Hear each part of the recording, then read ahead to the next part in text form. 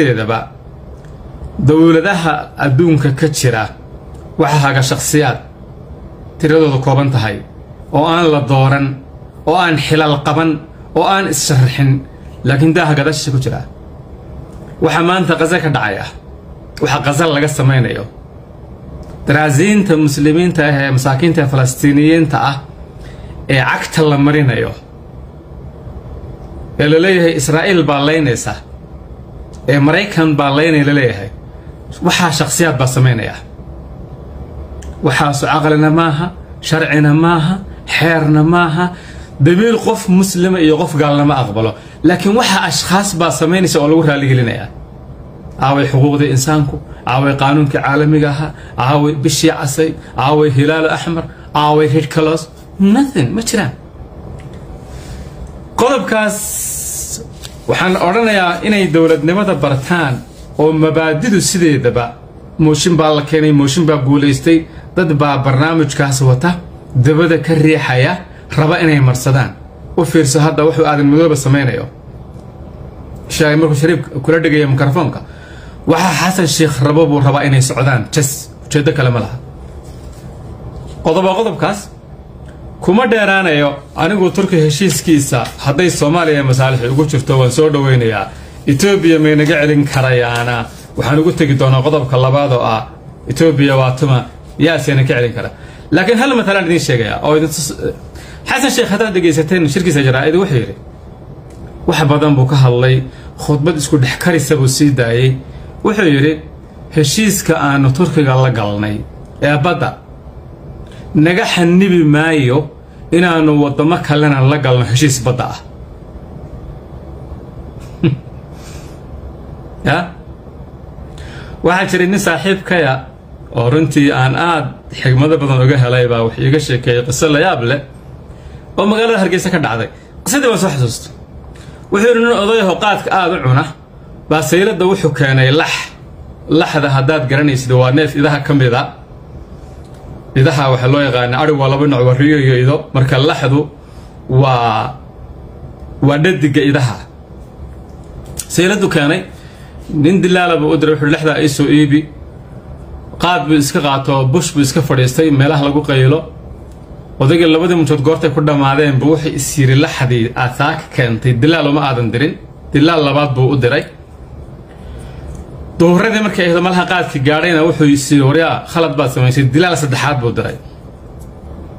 Okay waa hal lax saddex dilaal buu diray. Dilaalkii koowaad maba daahine lacagtiiba waa u keenay gelinkii horeba. Marka uu dilaalka labaad diraya lacagtii u haystaa. Kii labaadna waa u keenay. Ninkii saddexaad oo xanaaqsan baa oyme wuxuu isagoo lacagtii tirsanayo saale.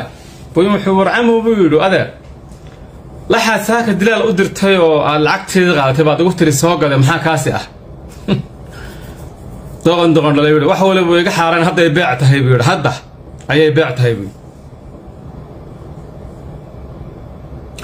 laba lacagood buu tirsanayaa wuxuuna leeyahay hadday beec tahay.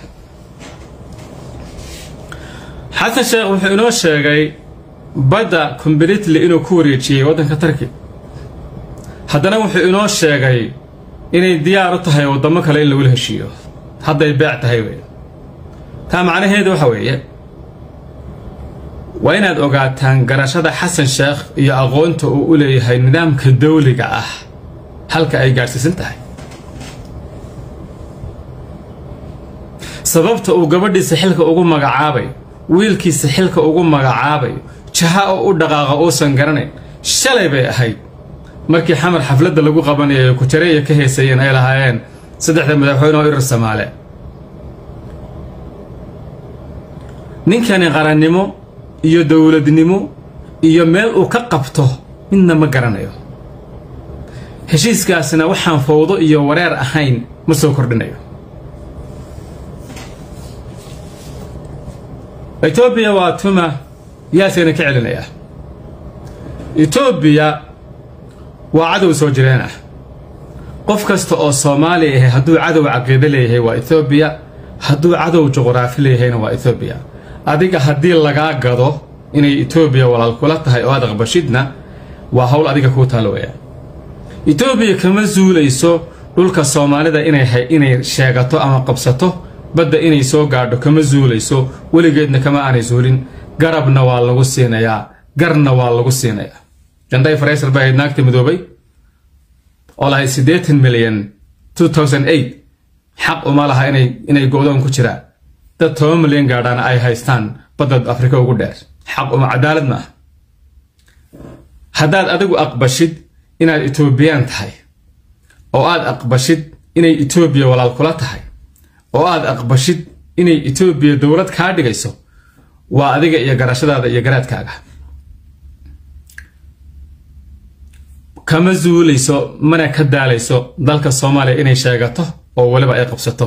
Laakiin awowgeennii shanaad baa diiday kii afraad baa diiday kii saddexaad baa diiday kii labaad baa diiday kii koowaad baa diiday aabbaheen baa diiday annagaa diidan inankeenna waxaan uga tegi doonana garan mayno. Yaa naga celinaya etoobiya etoobiya ma turkigaa naga celinaya? Ma ingiriiskaa naga celinaya? Ma annagaa iska celinayna ma carab baa naga celinaysa.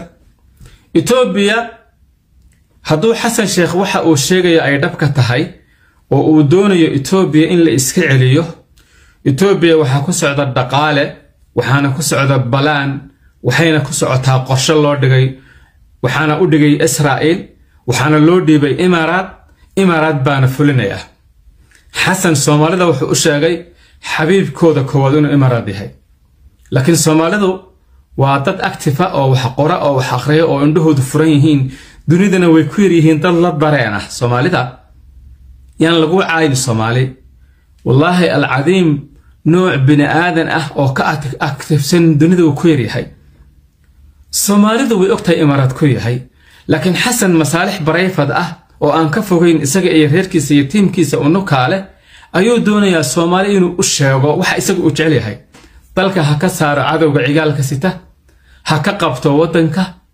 Etoobiya annagaa iskaga filan wayna banjaraysaa tamar dhaqaale iyo mid military iyo mid siyaasadeed midna naguma soo hawaysan karto. Turki naga celinayaan jirin etoobiya maraykan naga celinayaan jirin. Laakiin annagaa iskaga filan annagaa iskaga filan. Xasan yuu gacmaha noo qaban ethoobiya hana iswaafajiyo qowlkiisa iyo ficilkiisa oo ilaahayna ha ka xishoodo soomaalidana ha ka xishoodo. Waxba turkiyuu noo iman waxba yaanay cidi noo iman. Uma baahnin cid kale. Waxaan u baahannahay xasan iyo imaaraad in ilaahay naga qabto ama aynu iska qabanno. Dhaqaalaha iyo qandaraasyada iyo barnaamijyada socda oo dhan waxaweyan imaaraad baa dabada ka wada xasan imaaraad meel ha naga saaro. Hadduu awooddeeda leeyahay nin islaama yahay run sheegaya. Haddii kale ilaahay isaga imaaraad ba ha israaciyo qodobka saddexaad waxaan tegayaa awdal meesha la yidhaahdo oo aan halkan salaan iyo hambalyo iyo bogaadin uga direeyo. Diyaargarowga daliya debed ka socda january kacdoonkii buluugga ahaa baan anigu ishaaray oo idhi waxaa ku xigta awdal wiilka awdal jooga waa inuu xorriyad helo waa inuu qaato calanka uu jecel yahay waa inuu xaqiijiyo soomaalinimadiisa waa inaanu addoon u noqon kii aabbihii dilay oo raba isagana inuu dilo oo snm oo cadow ah oo amxaara kalkaal ah. Maxaa ku soo biiray? Waxaa ku soo biiray awdalba in la gado completely amxaara laga iibiyo la lacagaysto. Adduunka adigoo nool ma lagu iibsaday waa taariikh ku cusub. Hadda snm inoo dhigaysaa. Gobol dhan soomaaliya leedahay dadkiisu xor yahay diin le dhaqan le akhlaaq le xorriyad ku dhashay in la iibiyo amxaara gacanta laga dhiibo. Absolutely reer awdal ma aqbalayaan. Soomaaliduna ma aqbalayso. Ilaahayna subxaanahu wa tacaala ma aqbalayo. Garabkoodaanuna taagannahay. Waa ayna guulaysanayaan. Awdal horey u socda insha allahu inta soomaalinimada jecel oo sharafta leh oo aakhiradooda iyo adduunkoodaba raba inay ciso ku noolaadaan garabkiinay taagan yihiin. Waadna guulaysanaysaan. Halgankuna waa laba kaclayn biidnillahi kariim. Guulaysta.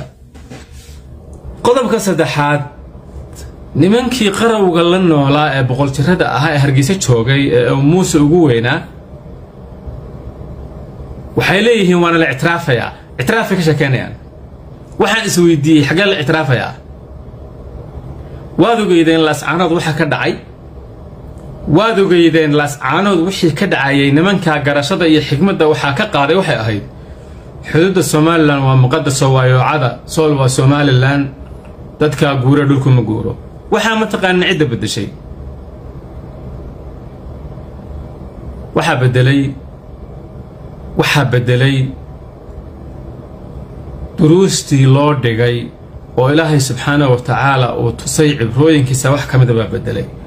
Waxaana beddelay wiil yar oo kelibadiisa lay soo diro anigu lama socdo oo la yidhaahdo garaad maxamed oo aanu malan inuu habar jecla yahay. Oo markii hore dadkii hororday ahaayoo dadka caayi jiray waxaa lay soo diray kelib aad u qiimo badan oo runtii jiheeyey dhallinyaradii hargeysa iyo burco joogtay.